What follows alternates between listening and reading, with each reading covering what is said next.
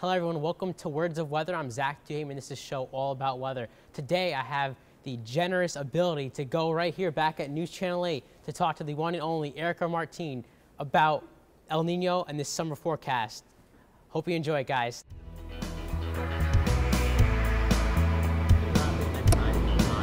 Words of Weather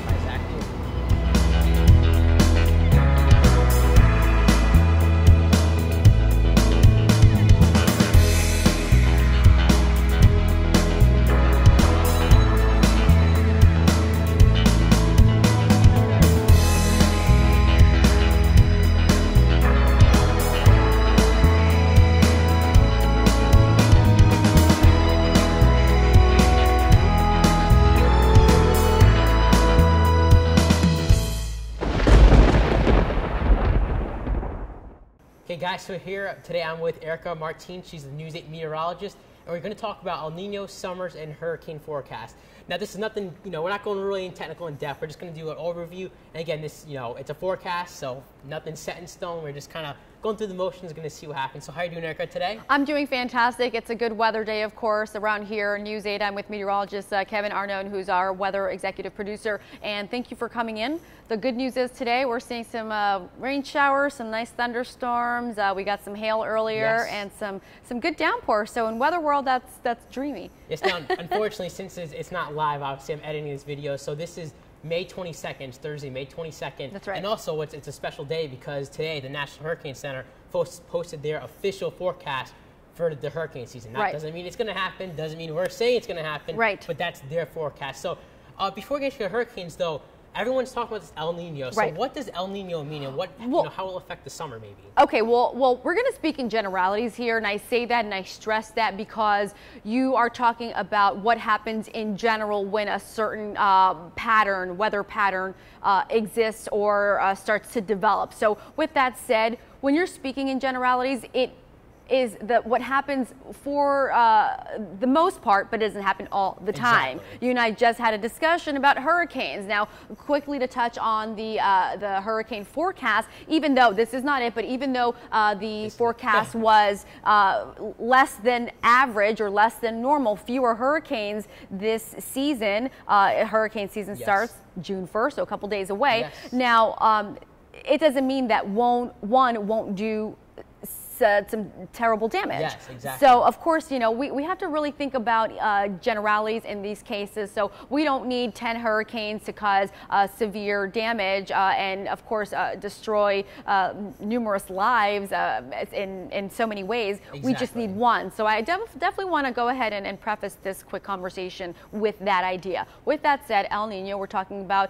uh, sea surface temperatures that are much warmer in the Pacific. Now, we were talking about this earlier. Uh, sea surface temperatures are ranging anywhere between the mid and upper 60s. Yeah, that's a lot warmer than usual. With that said, uh, right now we are in a neutral phase. So that's not set in stone. However, it looks like it is trending in that way Yes. by the by the end of the summer. Now, it looks like temperatures, something that we talked about on our weather special on WXEdge.com, Inside the Weather, we discussed uh, how this could potentially affect our summer and, of course, our winter.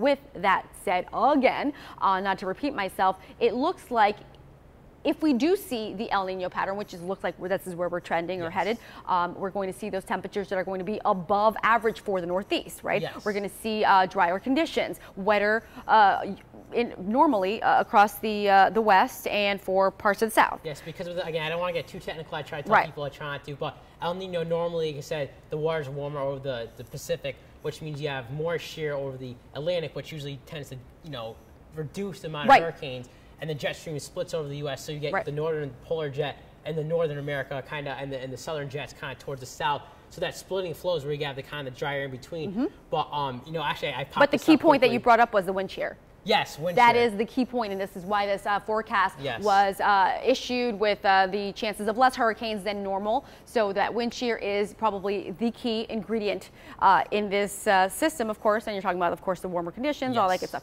Anyhow, um, I lost you. Now Oh. I was, I was or you gonna lost actually, I was me. pointing here. I actually just put up the map of the hurricanes.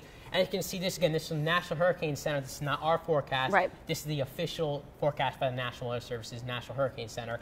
But they say 8 to 13 storms, 3 to 6 hurricanes, and 2 to 1 to 2 major. Now, again, there could be a million storms, but it doesn't affect land. As we said, it only takes one storm. So even if it's a tropical storm, hurricane, or major hurricane, if it hits landfall anywhere in the, the U.S. or even you know out of the U.S., it, it's a big storm. So these numbers really mean nothing to the average person. When someone says that means 13 hurricanes are going to hit the U.S., no, it does not. That just means they're going to be could could form. Mm-hmm.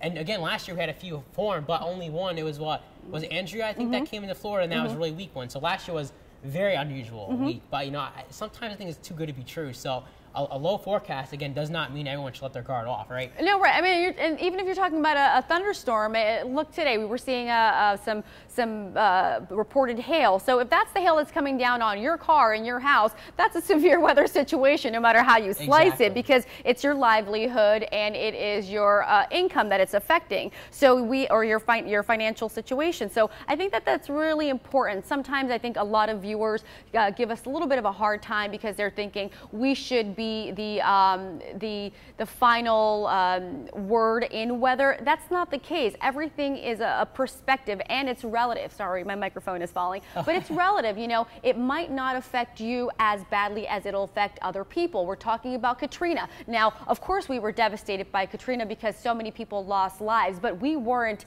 I wasn't directly impacted. I'd say I. right physically. However, financially, of course, that affects the yes. entire economy. So there's so many things that we have to consider as meteorologists. I really want other people to understand that it's not just the science, it's not the math, it's not the physics. Again, I'm just holding my mic pack here. It's the uh, economical, uh, e the effect that it has on the economy, the, the economical impact, if you will. So these are things that I think this is a great point that exactly. you're bringing up when it comes to the hurricane season as well as El Nino, because in addition to what's going on meteorologically, um, we have to think about how it's going to impact all areas of our lives. And I think this is why our job is so important. And this is why Storm Team 8 does such a great job because we always, we've got your back. You know, we always watch out for every part of your life, your lifestyle. We care about what's going on, how you're going to be affected. We want to let you know when you should have that umbrella handy, when you should keep it around, and maybe when you should go ahead and make that last minute run to the grocery store, run. get some milk, get some bread, and, and be safe out there. Um, but